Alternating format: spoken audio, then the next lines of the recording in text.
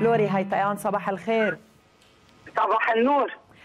آه هذا المقال اللي رينا ما بعرف إذا سمعتيني وهو آه من آه الشرق الأوسط تحديدا من فلسطين والصحفي الفلسطيني نظير مجلي الذي يقول إن مصادر مطلعة في تل أبيب كشفت أن الاتفاق الذي بلوره الوسيط الأمريكي والمبني على التنسيق مع قادة البلدين بئر قانا للبنان وحده وبئر كريش لإسرائيل وحدها وأن الجميع أيد هذا الموضوع هو الذي يسري الآن. في معلومات أكثر عن هذا الموضوع. يعني للصراحة خلينا نقول إنه أساس الاتفاق أو العرض اللي قدمه أموس اوكستين من أربعة أشهر كان مبني على حتى لو قانا ما كانت كلها للبنان ولكن في أفضلية للبنان باستغلال هذا الحقل. بمعنى إنه يحق للبنان أن يبدأ من بلوك تسعة بالاستكشاف وإذا طلع إنه في مكمن وفي غاز وممتد إلى ما بعد الخط 23 يعني إلى البلوك 72 الإسرائيلي حين يكون في نوع من آه بدك آه أفكار من إنه يمكن إسرائيل هي تبيع حصتها للبنان أو يكون الشركات اللي هي عم تستثمر بالحقل إن كان توتال أو غيرها إنه يلاقوا طريقة فورمولا يعطوا إسرائيل حقها من حقل آه قانا. نعم. هذا اللي قدمه وقتها أموس هوكستين ومثل ما بتعرفي الرد اللبناني كان بعد أربعة أشهر إنه لا يطالب بالحقل كاملة كاملا الحقل كاملا للبنان. وما بده إنه يكون في أي أي يعني أي شيء معلق تيخلي إنه يصير في إمكانية لمشاركة بالإنتاج أو مشاركة بالعائدات أو حتى إنه يصير في مثل ما عم ينحكى إنه لبنان يشتري حصة إسرائيل. نعم. بهذا المقال العنوان كان إسرائيل تؤكد موافقة لبنان على حصتها في حقل كاريش للغاز. لأي درجة صارت الأمور رسمية بحسب هذه المعلومات أو هي معلومات غير صحيحة؟ بالنسبة لكاريش واضح كان بمجرد ما الحكومة اللبنانية ممثلة برئيس الجمهورية بشباط 2022 قال إنه نحن حدودنا الخط 23 وما في أي قاعدة قوية للخط 29 هذا كان إنه واضح إنه لبنان تخلى عن المطالبة بكاريش نعم. وبما إنه ما صار في أي خطوة قانونية عملية بتعديل المرسوم 6433 هذا كان أساس إنه لبنان تخلى عن مطلبه بكاريش وبالتالي وبالتالي ما بقى لبنان معتبر كاريش بالمنطقة المتنازع عليها. كاريش؟ يعتبر هيدا حتى لو بالحق نعم هيدا التخلي. بالكلام إنه ضلوا يحكوا عن هالموضوع. نعم هذا التخلي هو كل كاريش لأن البعض يقسم كاريش إلى جزئين أو إلى منطقتين ومق... يعني شقفتين كل كل كاريش لقول لك لأنه في كاريش وفي شمال كاريش والخط 29 كان بيقسم بيناتهم نعم. اليوم بمجرد ما ما بقى حدا عم بيطالب بالخط 29 وسقط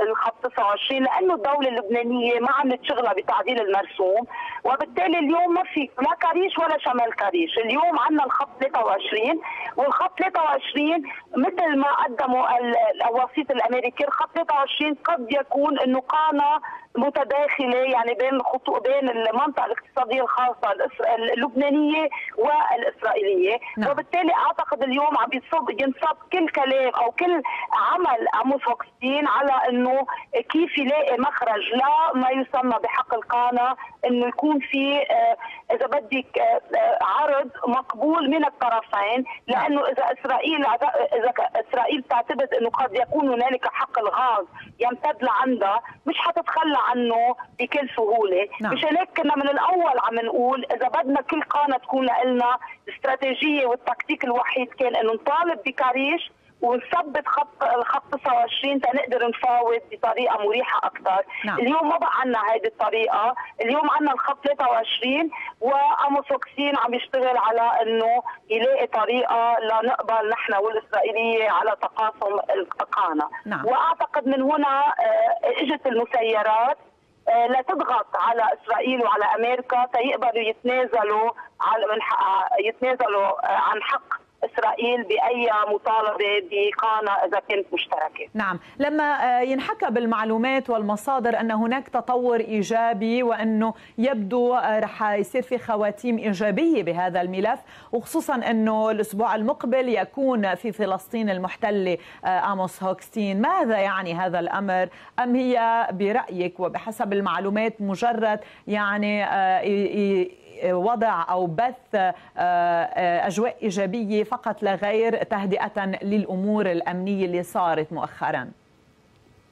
آه، شوفي يعني ايجابيه بتصور صارت إنه حسب الحكومة اللبنانية إنه حتى بعض المسيرات إنه الحكومة الإسرائيلية ما ردت وإنه اموسوكسين بعده مستمر بالوساطة، أعتقد هذه الإيجابية اللي عم تشوفها الحكومة اللبنانية. هي فقط. آه و وبالتالي الإيجابية إنه بعض الوساطة مستمرة نعم. آه، برجع بقول لك حسب النتيجة وكيف رح تطلع النتيجة إذا رجع لبنان قبل بالعرض اللي عم بيقدمه آموس إنه حتى لو حقل آه، قانا آه، قد قد قد يكون مشترك لأنه بدنا نرجع نذكر الجميع حق القانا غير موجود اليوم، حق القانا فقط على الورق موجود ولكن منه حق المكتشف وبالتالي نحن اليوم قاعدين عم نحكي عن شيء غير يعني. موجود يعني. غير موجود غير موجود بس موجود على الورق. نعم. وبالتالي ولكن بعد ما آه، صار له حياة لأنه ما صار في استكشاف.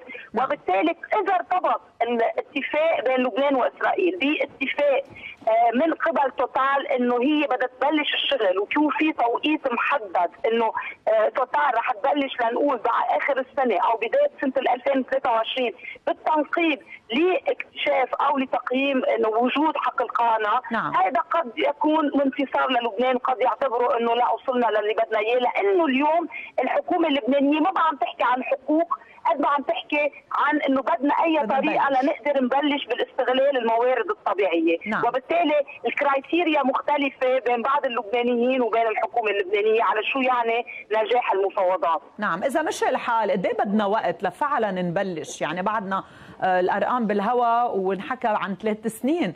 نحن بعدنا بهذه المدة الزمنية. ثلاث سنين توتال عندها ست سنين تتعمل اكتشاف يعني تتعمل استكشاف. وتحفر تتلاقي بير. يعني بعد هي مدة ثلاث سنين. بعد ثلاث إذا لقيت إذا لقيت غاز بعدها ثلاث سنين بدها تقيم الغ... بدها تقيم الحقل وبدها بدها تشوف أي بنى تحتية أنسب لا آه، لا استخراج هذا الغاز وإذا نعم. في إمكانية استخراج هذا الغاز ومين الأسواق لهذا الغاز نعم. كل هيدا ما بيصير ما بتصور بيصير بأقل من آه، خمس سنين إلى عشر سنوات يعني موضوع لا يعول عليه اقتصاديا أقله آه، أكيد لا. آه، الاقتصاد اللبناني ما حينقذوا الغاز. آه، ولكن أعتقد إنه هن بدهم هلأ قبل المفاوضات كان فكرهم إنه قبل المفاوضات انتهاء المفاوضات مع صندوق النقد يكون عندهم شيء معطى بإيدهم. نعم. لا يصيروا يهينوا على حالهم الاستدانه آه، على أساس إنه بكرة بنطلع غاز وبنرد المصاري. نعم. بس همهم الاستدانة لما يعملوا أي إصلاحات وبالتالي بدهم يستغلوا موضوع النفط والغاز لا لا يتهربوا من الإصلاحات. ولكن صار واضح إنه بلا إصلاحات بنيويه جوهرية أساسية مش حينهض الاقتصاد ولا رح يصير عندنا نمو اقتصادي ولا الغاز رح ينقذ حدا. نعم.